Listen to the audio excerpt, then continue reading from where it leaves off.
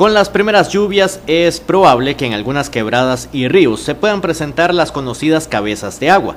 Esto puede sorprender en cualquier momento a alguna persona y puede causar hasta una tragedia.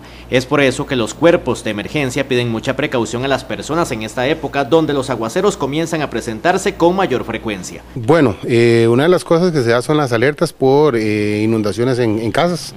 Eh, principalmente lo que se da gracias a Dios y, con el trabajo preventivo en las comunidades eh, ha bajado un poco la, tasa de desaparición por correntadas y demás. Esto porque eh, las comunidades eh, han entendido que lo principal es la prevención.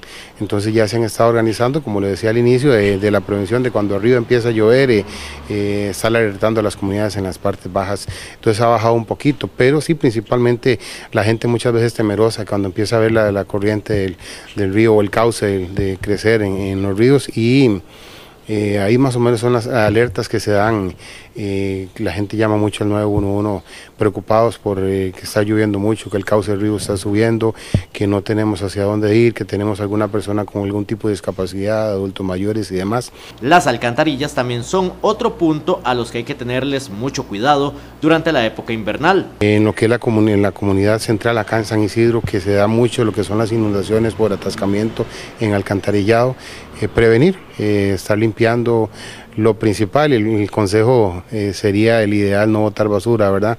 No eh, atascar el, alcantarillado municipal y demás, pero cuando eso se da, estar a la prevención, estar limpiando para evitar eh, ya en el momento que se da las fuertes lluvias, el atascamiento y y evitar un accidente al caer en alguna alcantarilla y demás. En caso de tormenta eléctrica, en la Cruz Roja tienen consejos básicos que hay que acatar. Eso es importante, no, no exponerse en lugares eh, donde podemos ser víctimas de alguna descarga eléctrica, podemos estar hablando de, plazas de fútbol, eh, de una vez en piscinas también, es importante en la playa, eh, siempre refugiarnos para poder evitar ser víctimas de, de alguna descarga eléctrica. La unión de las comunidades, la comunicación para estar atentos a cualquier situación en zonas propensas a inundaciones y deslizamientos también es de suma importancia.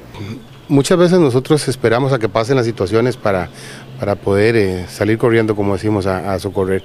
Pero uno de nuestros principios, eh, de nuestras bases como, como sociedad nacional es lo que es la prevención. Entonces, de ahí la importancia de que prevenir antes que, que sufrir alguna situación especial con, con esto de las lluvias.